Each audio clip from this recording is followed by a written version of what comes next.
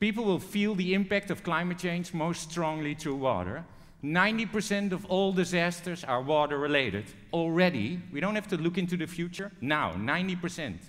2 billion people around the world will be affected by too much water, and another 2 or almost 2 billion by not enough water. And you know these images from around here.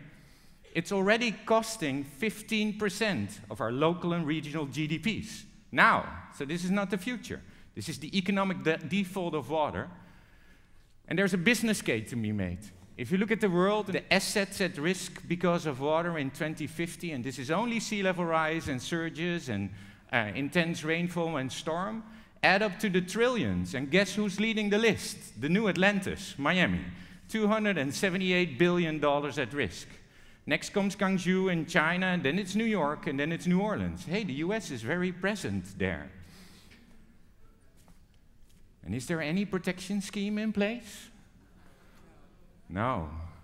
All risks, economic, cultural, ecological, environmental, man made, increase in impact and frequency. So, in other words, we will have more and it's going to be worse. So, when you wake up at night and you're sweaty, not because of booze, but because you dreamt bad, it's about this. This is the heart, you know, this is hard. On the other hand, all those crises, are interrelated. And that interrelationship makes it possible, they're interrelated both in the origin, where they come from, as well as in the impact. And an interrelationship from origin and impact makes it possible actually to mitigate and adapt. So this is what we can do. So this is what we started, but this is how we can change the world. So there is a way forward.